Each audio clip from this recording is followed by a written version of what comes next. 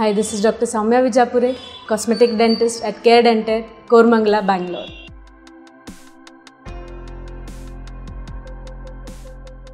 The factors that affect the longevity of the restoration are the place of the cavity where it is placed, the amount of tooth structure loss, the quality of the restoration we have used, any habits like crunching or grinding, that is, the forces which are applied onto the restoration, the maintenance of oral hygiene, and the skills of the dentist, how excellently he has done his work. Restorations done on the chewing surfaces, that is, in the center of the tooth, last for a longer time than the restorations which are done in between the teeth. So, the smaller fillings which have more amount of tooth structure to support last for a longer time than the fillings done on more amount of destructed tooth. The skills of the dentist is also very important considering the longevity of a restoration. The dentist has to follow strict protocols so that the filling lasts longer and the amount of oral hygiene you maintain.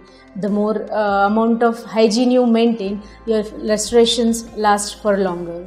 Quality of the filling material also plays a very important role. The superior the quality of the restoration, the more the life of the filling you can expect.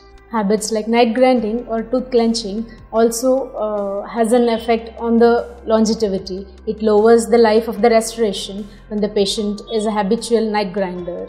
One of the best fillings nowadays can be considered as a composite. These composite fillings on an average uh, say last about 5 to 8 years. Earlier to composites, amalgam that is the silver fillings were uh, done. These silver fillings though last for a longer duration but are associated with its own disadvantages. Sometimes when the cavities are deeper, we also opt for fluoride filling which also lasts for a good amount of time. Hence, all the factors together decide the longevity of the restoration. So, from our end, as much as possible, try to maintain a good oral hygiene where you can keep the decays at bay.